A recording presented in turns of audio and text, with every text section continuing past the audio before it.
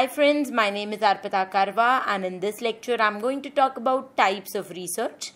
Now types of research is one of the most important topic of research aptitude because at least two questions are asked from this topic. There are about 12 kinds of research which they ask in the questions so i'm going to look at them one by one so what i've done in order to make these lectures easy i have broken these 12 research types in three parts. So, the first four types of research I'm going to discuss in this lecture, the next four in the next lecture, and the last four types of research I'm going to discuss in the third lecture in this particular series. So, let us begin by looking at the first type of research, which is basic research. Basic research is also known as fundamental research. Now, fundamental research is driven purely by our curiosity and by a desire to expand our knowledge. At times, you know, we are free and we just Google about a particular thing and we start reading from various web pages and we start exploring all the YouTube videos on that particular topic. Now, what is that? I, we are doing informal kind of research which is driven purely by our curiosity. We don't want to answer one question. We just want to expand our knowledge. We just want to know more about it. That is known as basic research. Remember, there are times when we start scrolling the Instagram of a particular celebrity and then we look uh, on Google and browse about that particular celebrity. What are we doing? We're just exploring and we're just trying to expand our knowledge about that celebrity. That is called basic research. This type of research tends not to be directly applicable to the real world in direct ways. We are not going to apply that knowledge about that celebrity in the real world. That's not going to help us solve any life problems but it is going to enhance our understanding of the world. So maybe in the entire world there's this celebrity we really like and we want to know more and more about this celebrity. That is called fundamental research. Knowing about that celebrity researching about that celebrity will not help to solve any problem but it is just going to enhance our understanding right? Some really really simple examples of basic research would be number 1 there's a study which is assessing whether men or women are more likely to be diagnosed with depression. Okay, we just want to know whether men or women who have the higher chances of getting into depression.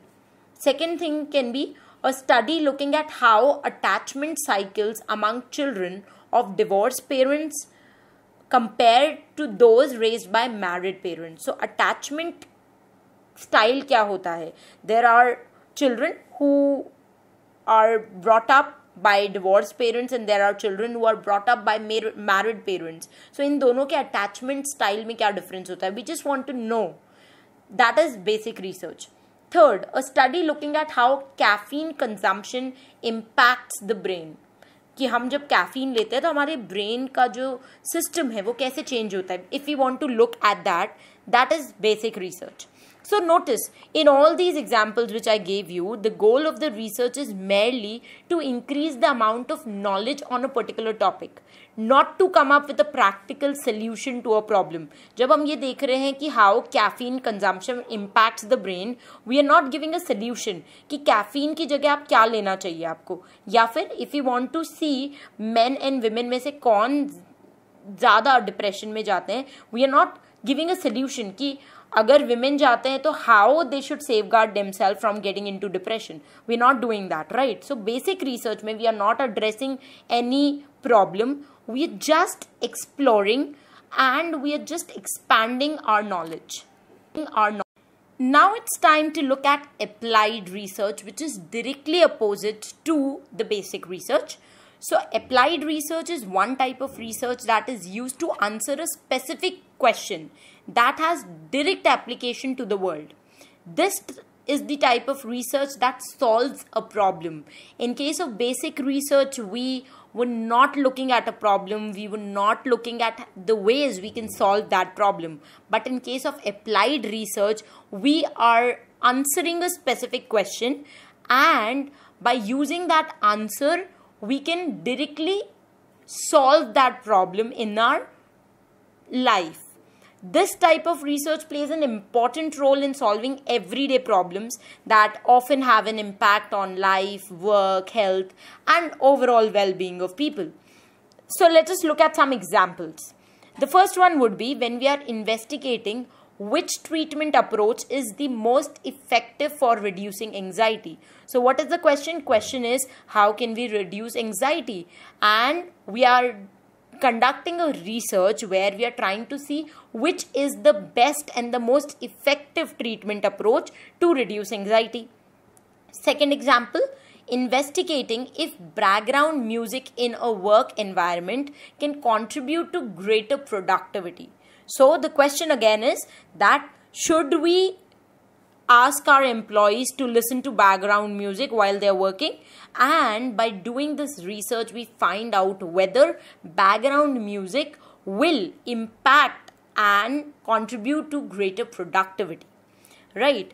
So let us see that how applied research and basic research will look at different scenarios in a particular situation so for example there's a sociologist or a psychologist who is performing a basic research on violence.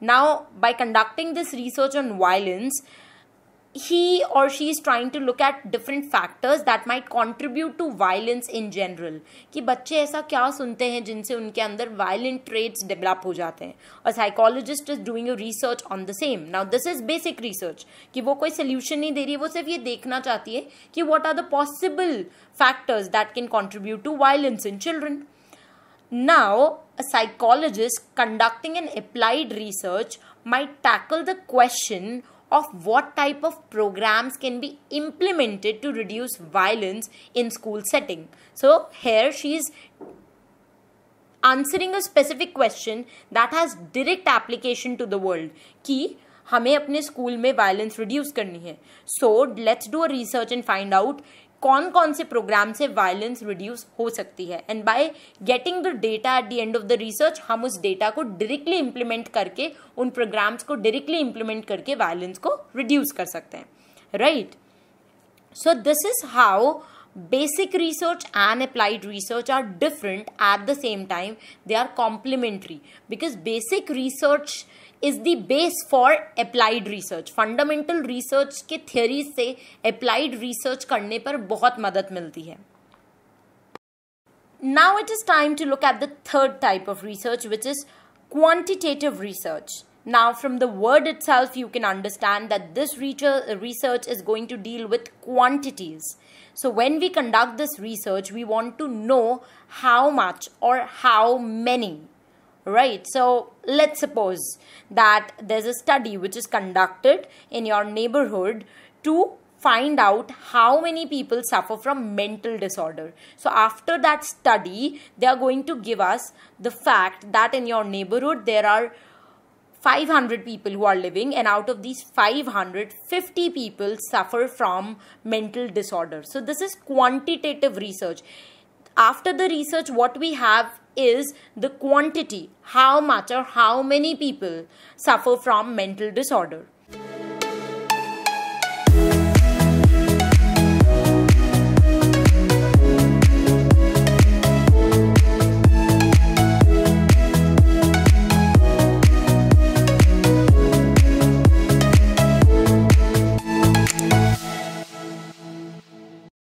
Opposite of this situation is the qualitative research. In case of qualitative research, it is going to tell us why something is happening. For example, in the same scenario, in the neighborhood setting, when we do a qualitative research to find out how many people suffer from mental disorder, in case we are doing a qualitative research, our question would be why people suffer from mental disorder or how these mental disorders affect their personal life so quantitative research में हम जानना चाह रहे हैं कितने लोगों को mental disorder है।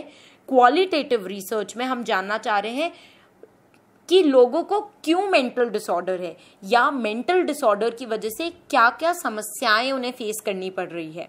So qualitative methods are about describing and analysing phenomena ये हमें रीजंस देंगे कि ऐसा क्यों हो रहा है। क्वांटिटेटिव रिसर्च हमें नंबर्स देंगे कि इतने लोगों को ये प्रॉब्लम है। Qualitative research is going to tell us why these people have this problem what can be the possible factors that affect them when they are going through this particular phenomena. So, that is how quantitative and qualitative research are different but what you need to understand is that there is a thing called mixed research where we conduct a research using both quantitative and qualitative approach कि एक research है जिसमें हम ना सिर्फ ये जान रहे हैं that how many people suffer from mental disorder but at the same time we are also trying to research on why these people are suffering from mental disorder and how mental disorder is impacting their personal and professional life. Now, if we answer all of these things in one research, that is called mixed research. So that's it for this video lecture. We'll meet soon in the next video lecture.